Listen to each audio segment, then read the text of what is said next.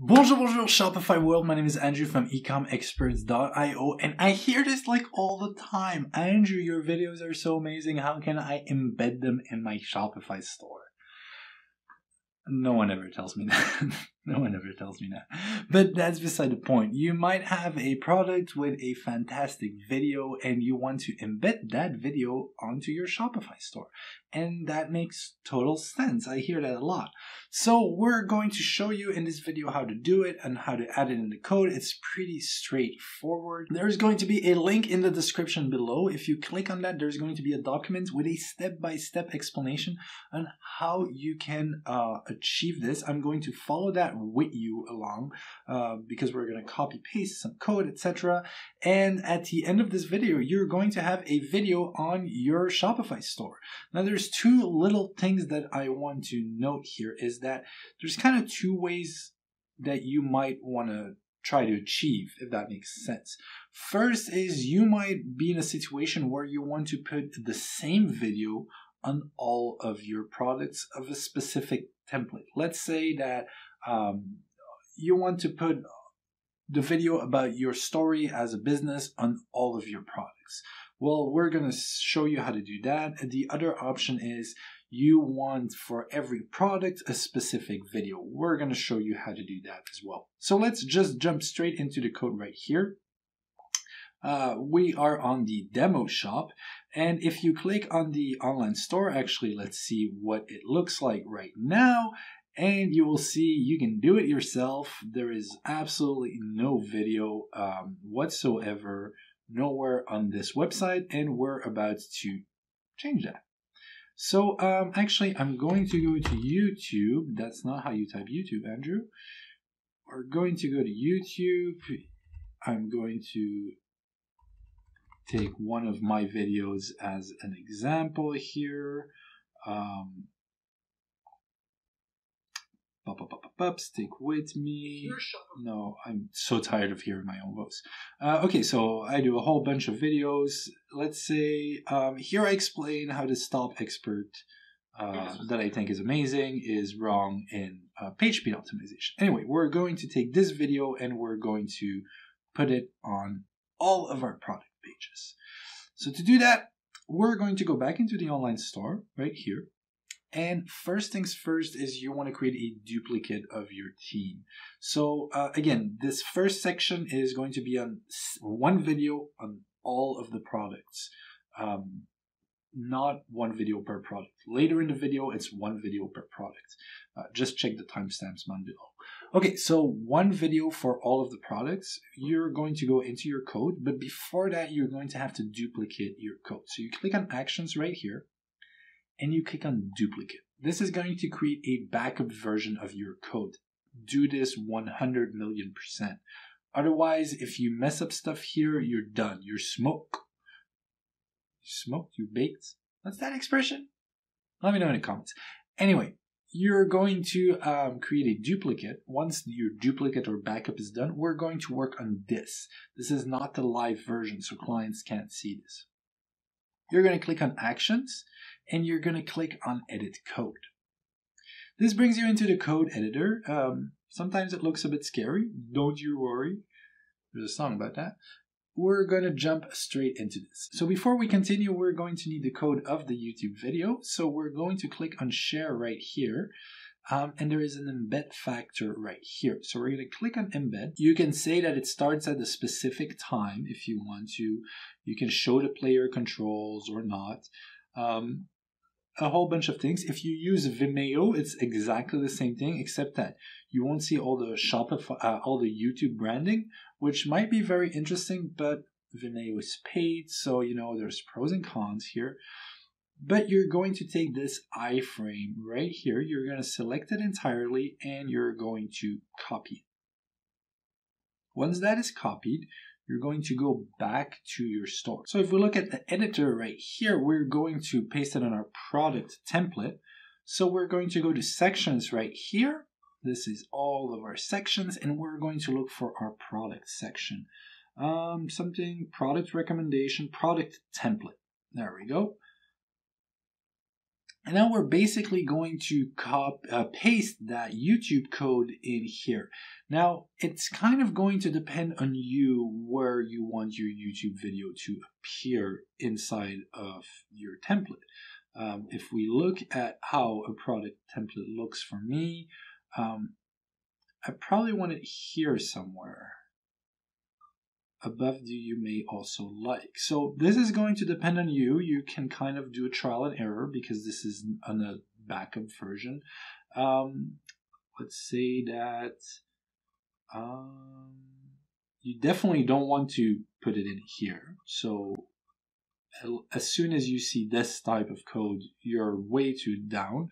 So you're going to kind of choose here. There is a button. That's the add to cart button. See, see, as soon as you see button submit, that means that's where to add to is. So that's here. So you probably wanted to put it a little lower. Uh, and form. So there is a form on your product page. That's the form right here.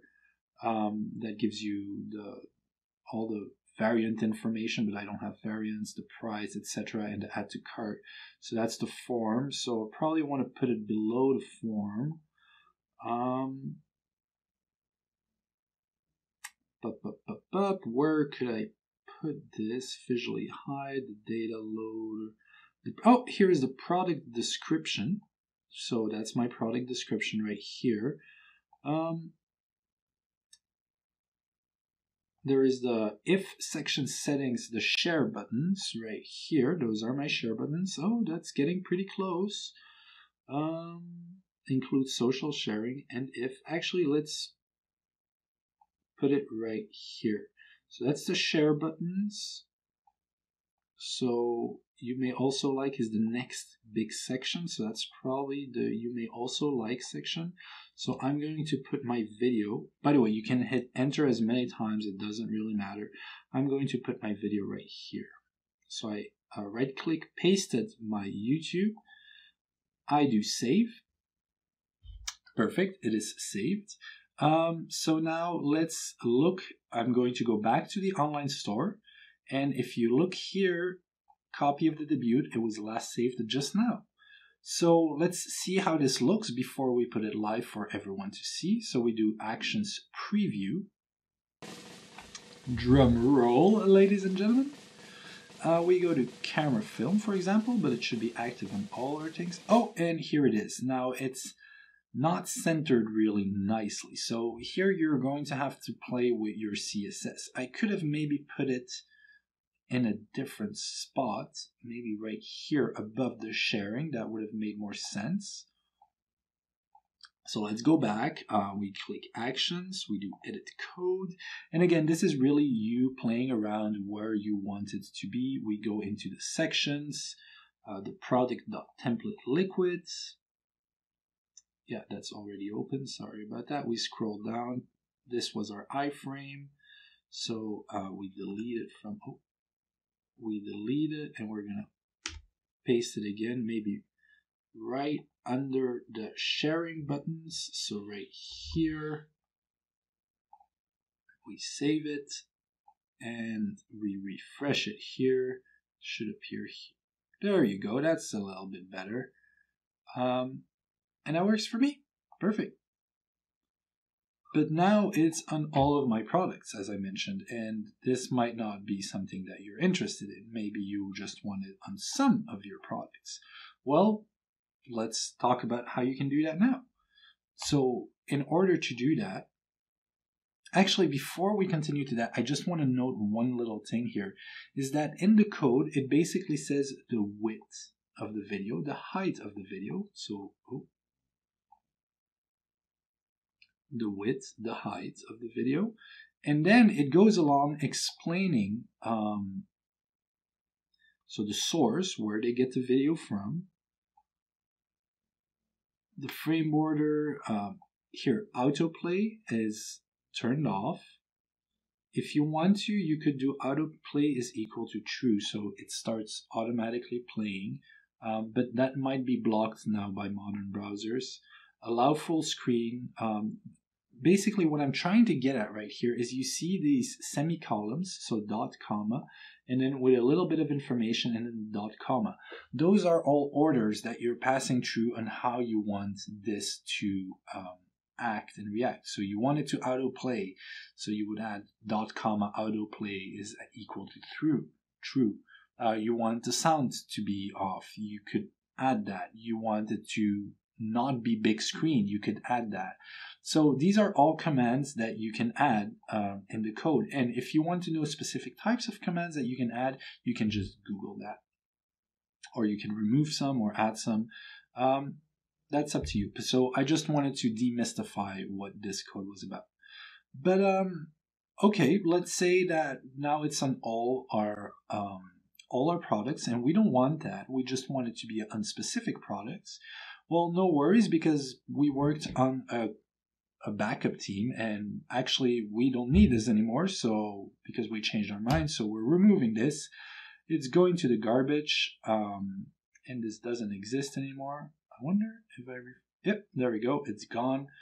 Um, and there's just this team. So let's say i just want to add it to the camera film. Well in that case i go to products let's say. I go to camera film and right here, I'm going to click here, show HTML. And then I decide where in the description I'm going to paste um, my code. So I, my video. So I suggest you put it at the very end. So I do a couple of enters. I do right click paste. You have the little iframe that's going to come back with the commands and the description of the height and the width as I talked about. I just saved that right here. And now because I'm making the changes in here and not in the actual code of my theme, um, it's immediately live. So let's close all of this. I click here. And normally there should be a video right here. There you go. But if I go to any other product, the video is not there. So that's another way of doing it.